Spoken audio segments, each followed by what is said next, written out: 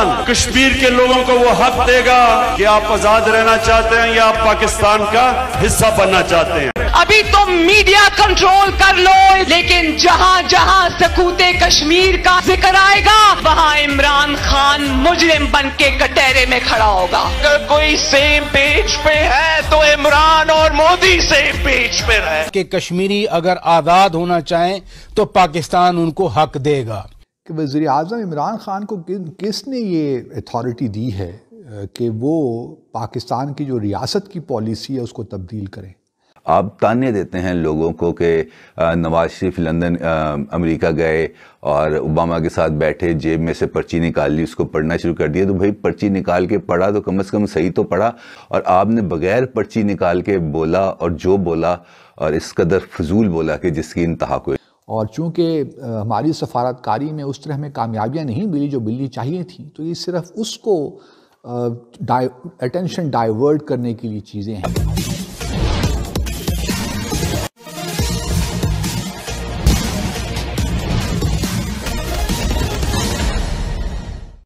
कश्मीर बनेगा पाकिस्तान का नारा देने वाले पाकिस्तान में आज क्या हुआ? कि अब यह कहा जाने लगा कि पाक ऑक्युपाइड कश्मीर या पीओको को वे स्वतंत्र करने जा रहे हैं। और यह बात कोई और नहीं, वहाँ के प्रधानमंत्री इमरान खान नियाजी द्वारा कहा गया है। और यह बात पाँच फरवरी को पाक ऑक्युपाइड कश्मीर में ही कहा गया है, जब पाकिस्तान के लोग इस दिन कश्मीर के साथ अपनी एकजुटता को इजहार करते हैं। पाकिस्तानी मीडिया में यह चर्चा हो रहा है कि क्या पाकिस्तान के प्रधानमंत्री इमरान खान मोदी के दबाव के चलते झुक गए। इस संबंध में कुछ और चर्चा इस वीडियो ब्लॉग के अंतिम भाग में करेंगे। उसके पहले आइए सुनते हैं कि पाकिस्तान मीडिया में इस खबर को किस तरह से लिया जा रहा है। लेकिन ये कैसी यकजहती का इजहार हमने किया? वज़ीर आज़म ने कोटली में खड़े होकर कह दिया कि कश्मीरी अगर आज़ाद होना चाहें तो पाकिस्तान उनको हक देगा। हालाँकि पाकिस्तान की स्टेटेड पॉलिसी इसके बरअक्स है। जब आपकी ये बातें तो सारी मीडिया में दुनिया में जाती है। आप यही कहते कि हम दुनिया को कायल कर देंगे तो दुनिया को तो आज तक न कायल न कर सके। बल्कि उनका जो स्पेशल स्टेटस था वो भी उन्होंने खत्म कर दिया। और, और वो जब वहाँ से आते रहे अमेरिका से तो आपने जाके हार पहना दिए कि ट्रंप ने पता नहीं क्या हमें वहाँ से कोई इतना बड़ा तोहफा दिया था कि जब हम आ रहे इमरान खान साहब आ रहे थे तो ये हमारे वज़ीर साहिबान जाके उसको हार पहना रहे थे। क्या उसी पाँच दिन के बाद उसी ट्रंप की होते हुई वही मोदी ने हिम्मत की और वो पाँच अगस्त 2019 के इकदाम ले लिए। हम अगर कश्मीरी चाहेंगे तो उनको आज़ादी भी दे देंगे एक आज़ाद मुल्क के तौर पे भी वो रह सकते हैं। आ, मुझे नहीं मालूम कि ये बात कहाँ से निकली और क्यों कर निकली। अब अल्लाह जाने कि ये आज़ादी की बात कहाँ आई। तो पहली बात तो मुझे ये समझ नहीं आ रही कि कहाँ से ये बात आई है। और कश्मीर पे कहाँ से ये आज़ादी भी आज़ादी भी एक ऑप्शन है।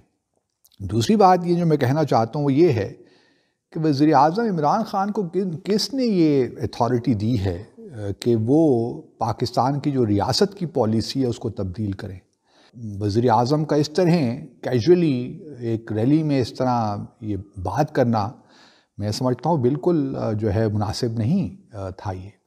क्योंकि एक रियासत की पॉलिसी है जम्मू और कश्मीर को लेकर तो ये unilaterally prime minister on his own किस तरह ये आया, ये कैबिनेट में डिस्कशन हुई है, ये कहीं पार्लियामेंट में डिस्कशन हुई है, कहाँ पे ये सारा डिस्कशन और ये फैसले हुए हैं कि हम जम्मू और कश्मीर को है आज़ादी भी दे सकते हैं?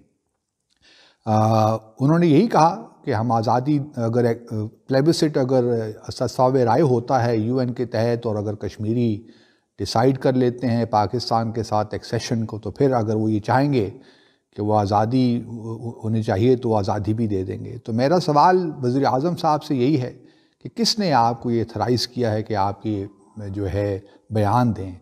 आप ठीक है वज़ी अजम हैं, लेकिन एक रियासत की पॉलिसी होती है। तो वही बात हुई जो मुशर्रफ साहब ने की अपने ज़माने में। अपने ही तौर पे एक फोर पॉइंट फार्मूला पेश कर दिया, जिसको कश्मीरों ने रिजेक्ट कर दिया था उस वक्त। और चूँकि हमारी सफारतकारी में उस तरह हमें कामयाबियाँ नहीं मिली जो मिलनी चाहिए थी तो ये सिर्फ़ उसको अटेंशन डाइवर्ट करने के लिए चीज़ें हैं।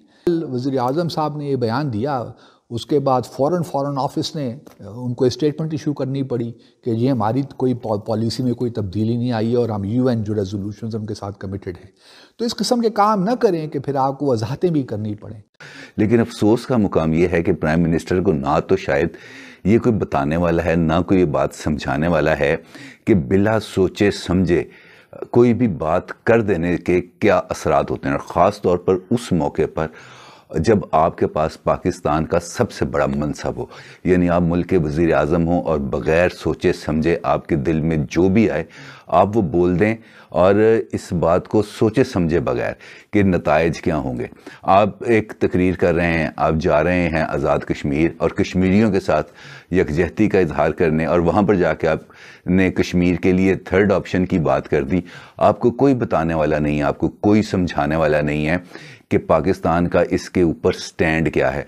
पाकिस्तान ने यूएनओ की रेजोल्यूशंस इसके ऊपर मौजूद हैं। पाकिस्तान के दो तरफा माहदे मौजूद हैं इंडिया के साथ। और ऐसी सूरत में जब इंडिया एक बहुत ज़्यादा हाइप क्रिएट कर चुका है कश्मीर के हवाले से पाँच अगस्त के फ़ैसले हैं, उसके बाद आर्टिकल तीन सौ सत्तर को मनसूख करना है, ऐसे मौक़ों पर आपका ये कह देना कि कश्मीर के लिए हम एक थर्ड ऑप्शन यानी कि आज़ाद उसको आ, करने के लिए तैयार हैं। तो ये बिल्कुल ऐसे ही है जैसे प्राइम मिनिस्टर ऑफ़ पाकिस्तान एक चीज़ प्लेट में रख कर इंडिया को पेश करते और वजह उसकी ये है कि आपका केस कहाँ पे जाएगा? किस तरीके से आप अब आलमी फोरम्स के ऊपर ये अपना मुकदमा लड़ेंगे आपने पूरे के पूरे इशू को इस तरीके से स्कैंडलाइज कर दिया, इसको इस तरीके से कॉर्नराइज कर दिया कि अब वहाँ से दोबारा उसको उठाना और फिर उसके लिए ये बात करना पाकिस्तान के फ़ॉरेन ऑफ़िस के लिए किस हद तक मुश्किल हो जाएगा कि मसले कश्मीर को अकवा मुतहदा की करारदादों के मुताबिक हल किया जाए। आप ताने देते हैं लोगों को कि नवाज़ शरीफ लंदन अमेरिका गए और ओबामा के साथ बैठे, जेब में से पर्ची निकाल ली, उसको पढ़ना शुरू कर दिया। तो भाई पर्ची निकाल के पढ़ा तो कम से कम सही तो पढ़ा, पाकिस्तान का केस तो लड़ा और आपने बगैर पर्ची निकाल के बोला और जो बोला और इस कदर फजूल बोला कि जिसकी इंतहा कोई नहीं। और अब दफ्तर खारजा को इसके ऊपर बयान पे बयान, वजाहती बयान जारी करने पड़ रहे हैं। तो ऐसी नौबत क्यों आती है? कि हमारे दस्तूर में एक क्लॉज है आर्टिकल है, दो सौ सत्तावन। कुछ लोगों का ख्याल है कि उस आर्टिकल के तहत कश्मीरियों को आज़ादी भी दी जा सकती है। मैं ज़रा वो पढ़ लेता हूँ आपके लिए ताकि आसानी भी हो जाए। वो आर्टिकल ये कहता है कि when people of state of Jammu and Kashmir decide to accede to Pakistan relationship between Pakistan and state shall be determined in accordance with wishes of the people of the state.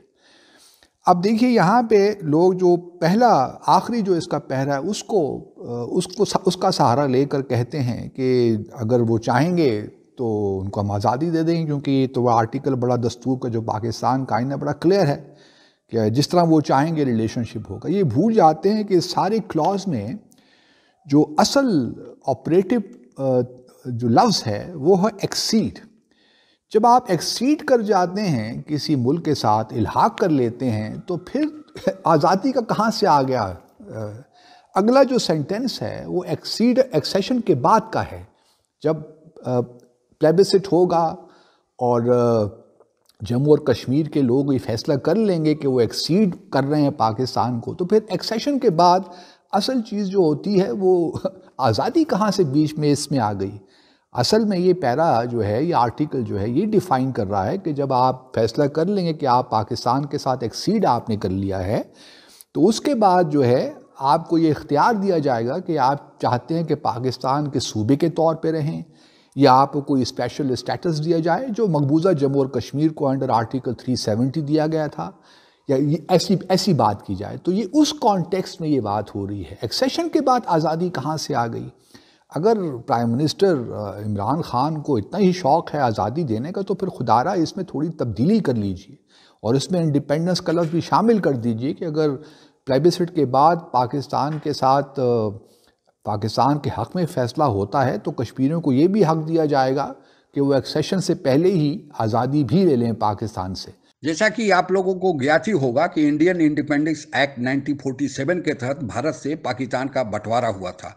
उस समय भारत में कुल पाँच सौ पैंसठ princely state थे। इन princely states को यह विकल्प दिया गया था कि वे चाहें तो भारत के साथ रहें या पाकिस्तान के साथ चले जाएँ या अपना स्वतंत्र अस्तित्व कायम रखें। जम्मू कश्मीर के तत्कालीन राजा ने अपना स्वतंत्र हैसियत बनाए रखने का विकल्प का चुनाव किया। पाकिस्तान को यह मंजूर नहीं था और वह बलपूर्वक जम्मू कश्मीर को अपने में शामिल कर लेना चाहता था।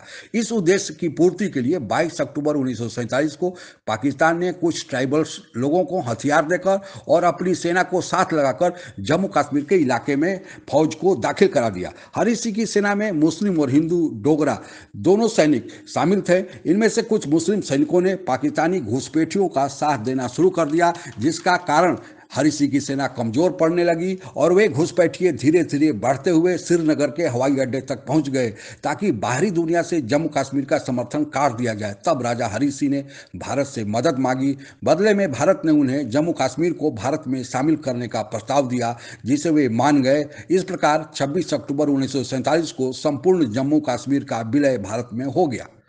जम्मू कश्मीर का भारत में विलय का प्रस्ताव स्वीकार करने के ठीक दूसरे दिन, यानी 27 अक्टूबर को ही भारतीय सैनिक जम्मू कश्मीर में पहुँच गए और वहाँ से पाकिस्तानी सैनिकों को पीछे धकेलने का काम शुरू कर दिया।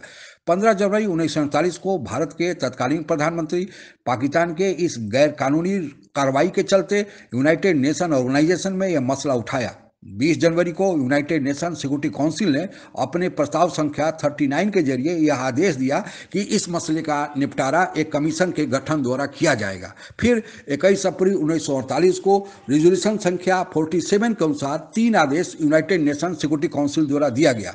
पहला, कि पाकिस्तान पाक ऑक्युपाइड कश्मीर से अपनी सेना हटा लेगा। भारत संपूर्ण जम्मू कश्मीर क्षेत्र में अपनी उतनी सेना रखेगा जो इसके लिए लाइन ऑर्डर मेंटेन करने के लिए ज़रूरी हो। और तीसरा जम्मू कश्मीर भारत के साथ रहेगा, या पाकिस्तान के साथ रहेगा, या स्वतंत्र अस्तित्व बनाए रहेगा, इसका निपटारा यूनाइटेड नेशन के देखरेख में वहाँ की जनता द्वारा, जनमत संग्रह के द्वारा किया जाएगा। लेकिन अभी तक पाक ऑक्युपाइड कश्मीर से पाकिस्तान ने अपनी सेना नहीं हटाई, जिसके कारण जनमत संग्रह नहीं हो पाया है। अब पाक ऑक्युपाइड कश्मीर को स्वतंत्र करने के लिए इमरान खान कह रहे हैं, यह भारत के लिए स्वागत जो कदम हो गए क्योंकि वे लोग बहुत दिन से चाहते हैं कि वे लोग भारत के साथ चले आए। आज के लिए बस इतना ही। आप अगर हमसे जुड़ा रहना चाहते हैं तो कृपया मेरे चैनल को सब्सक्राइब करें तथा बेल आइकन भी दबा दें, ताकि नई वीडियो की जानकारी तुरंत आप तक पहुँच जाए। धन्यवाद। जय हिंद।